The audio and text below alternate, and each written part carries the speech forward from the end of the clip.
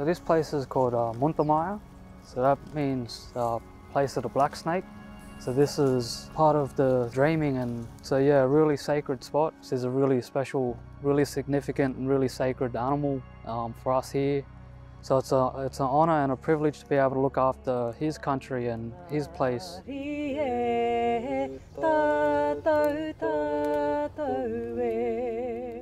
Being amongst these rākau, these trees, hearing more about the relationship of the people to the environment, we can not only interpret and understand, but we can feel.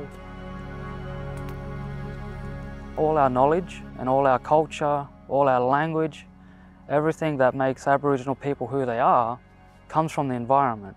The experts from this local area know what this place needs. And being my first time overseas and exchanging knowledge with Indigenous communities uh, is really special.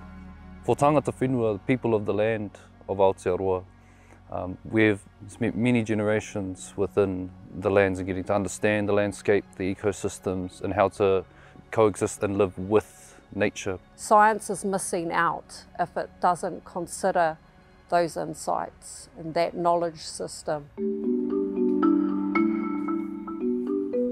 The project is really about uh, co-designing better tools uh, that ultimately will bring community resilience and will help to save lives, infrastructure and ecosystems. There's so many variable health levels of our environment and when it comes to fire we don't get many chances to get it right and that's where this SmartSat project has a lot of value to Indigenous communities.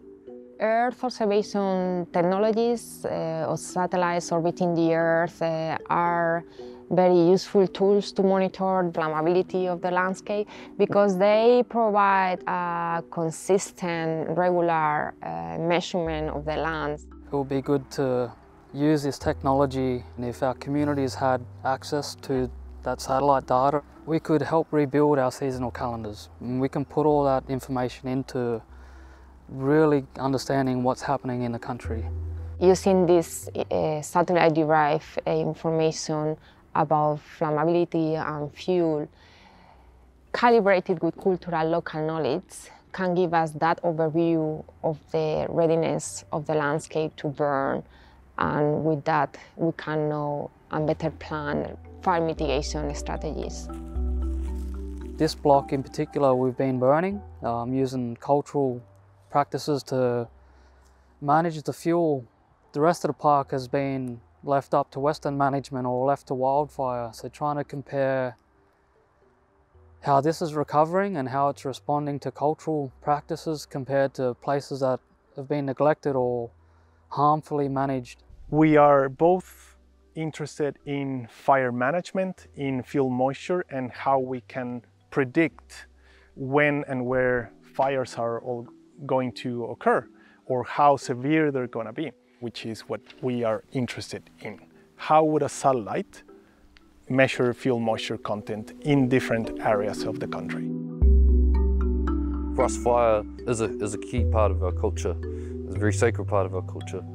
Using it in a larger scale in the environment is something that I'm personally quite interested in.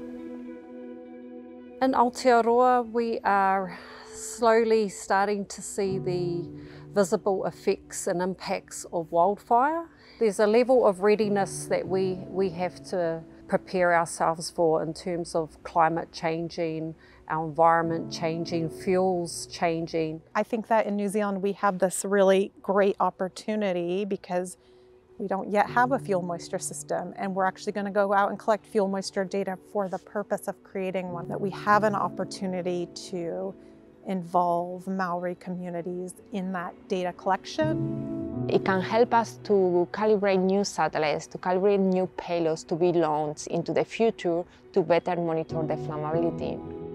It's become our responsibility yeah, to lead that process in assessing the country, looking at it, understanding its health, using fire to treat those different yeah, symptoms that are appearing in our landscape. So healing the country with fire to start restoring balance and health back into the environment. We have a lot of opportunity to learn from other countries um, and almost jumpstart that learning. And it's about building those connections and those relationships with other mob. It's very important because that creates that mosaic and safe country. We are learning from Aro and their traditional knowledge. We are learning from Maori traditional knowledge and we are also sharing the way in which we do things. I'm, I'm thinking, you know, this could be getting ready to flower. Learning and seeing uh, Ado uh, assessing the land uh, in country was very special.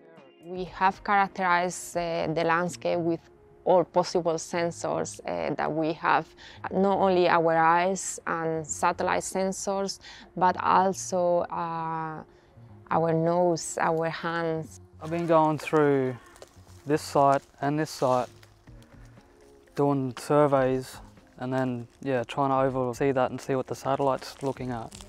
Because it's the same ecosystem, but this one's starting to recover and we're starting to bring balance back to that. And then on this side, you can see it's still a long way to go. But you can see change and they can see it now and the next lot of burning's easier and easier again. Looking at the environment through the lenses of how fire is a teacher and a tool, or be used as a tool, is something that is new to me. The smoke, we want white smoke. Like with that smoke and ceremony, that's the cleansing smoke and that's the medicine for these trees. The knowledge and understanding that we have of our environment is applicable to other mob. You know, it has to be shifted to suit their environment, their language and their culture. Seeing the, the parallels and even the synchronicities of the two knowledge systems, the scientific information being able to support indigenous communities, of course, and being able to have perhaps a wider resolution or view of scale, almost like an extension of our senses. And also going the other way, for Indigenous communities and Indigenous perspectives, Indigenous knowledge to support scientists and being able to understand nuances within the landscape. Yeah, looking at these. So when I get the, the branch, I always come down, you know, at least three leaves. A lot of the leaves, you know, once they get dry enough, you can just bend it like that and it's gonna crack or split. So you can hear it, you can feel it, like there's not much stickiness, there's not much moisture or oil in there. It's an excellent use case because it's essentially a calibration exercise. What is it that they're finding important before burning or during a burn that will control the flammability of the landscape versus what we measure and how we measure it. We do this again for every tree in every site. For the spectral data, we collected using two imaging spectrometers that simulate what a satellite would see. And we also collect fuel moisture content from leaves. We take those leaves to the laboratory, run some analysis, and we get fuel moisture. So these are things that, yeah, we've always looked for in, in the environment. But it was really reassuring to have two different methodologies looking at the same thing so we could validate each other. And this is how we measure what you were measuring, the volatiles. It's really good, it makes us proud to see, yeah, that we're able to manage this country successfully and produce the outcomes that, yeah, we've been striving to achieve. There's a lot of mushrooms as well, so that's a great sign.